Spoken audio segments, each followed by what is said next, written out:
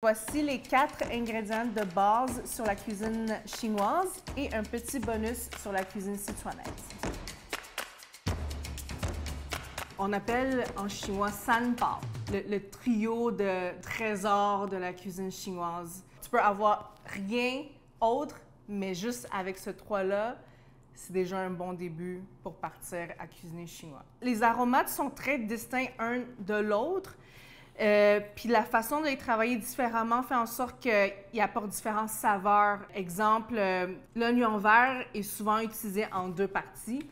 La partie blanche, souvent utilisée pour mariner euh, des aliments. Et le vert, c'est souvent en garniture.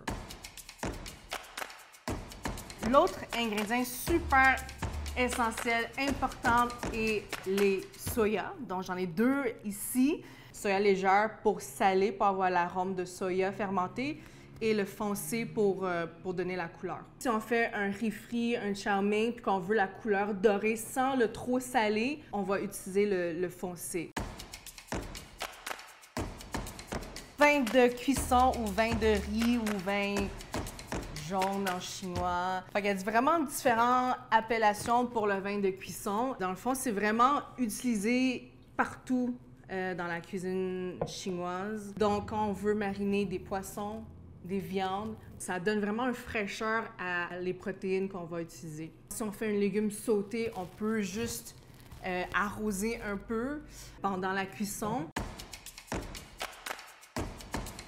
Catégorie vinaigre, euh, qu'on a ici le vinaigre noir, vinaigre de riz et vinaigre rouge. Ici, c'est celui qu'on connaît le plus, qu'on va souvent le voir dans les restaurants de dumplings servis à côté pour tremper les dumplings. On peut aussi l'utiliser dans la cuisson, des ribs sweet and sour, la sauce aux prunes. L'autre ici, qu'on appelle le vinaigre de riz, un peu la même utilisation, par contre, celui-là, on va l'utiliser quand on veut pas colorer les aliments. Ici, qui est une euh, vinaigre rouge utilisée dans la cuisine en fait euh, cantonaise. Il y a beaucoup de gens qui vont ajouter un peu de gingembre en julienne dans ce vinaigre-là, puis vont l'utiliser pour manger leurs fruits de mer.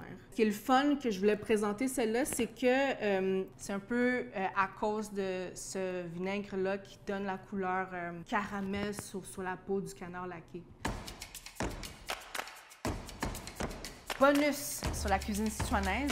Euh, le premier ici, c'est euh, de la cuisine sichuanaise, le pâte d'haricots fermenté qu'on appelle tobanjiang.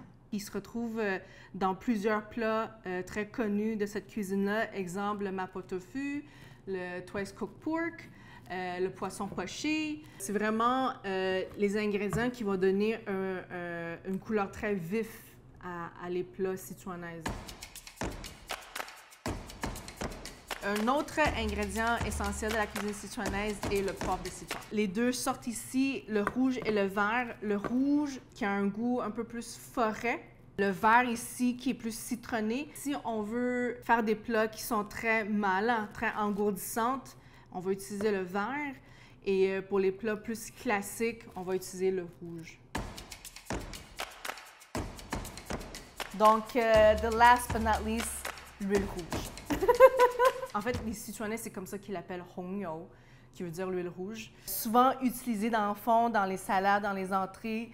Euh, exemple, les nouilles dandan que les gens y adorent. Euh, souvent, il va y avoir une grosse cuillère de l'huile rouge qui va aller par-dessus. Traditionnellement, il va toujours retrouver trois types de piments. Un qui va donner genre la couleur très vif, un qui va donner l'aromate, un qui va donner le côté épicé.